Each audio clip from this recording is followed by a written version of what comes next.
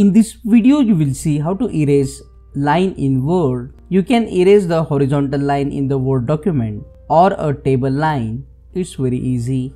To remove the horizontal line from the Word document or erase the line, you need to click here on the borders drop down and click on borders and shading.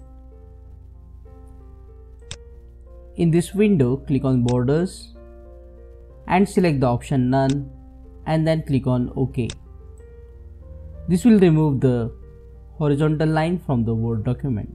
And if you want to erase table line, then click inside the table and here you will see the layout tab next to the table design. After clicking on the layout tab, you will see here the eraser option. Just click on this option to select the eraser. And now just select the line you want to delete.